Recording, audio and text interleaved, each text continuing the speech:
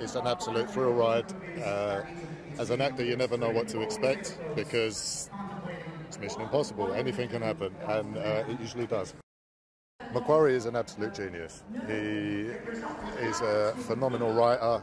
Um, the partnership that him and Tom strike up together, the ambition of ideas that they have, the pressure that they put on the production team to keep pushing the franchise further and further. As an actor, all we got to do is show up and, and just marvel at people jumping out of planes and cars flying at left, right, and centre and stuff blowing up. It's yeah, it's phenomenal. It's the biggest, most amazing film in the franchise. They've, again, to my surprise, gone above and beyond.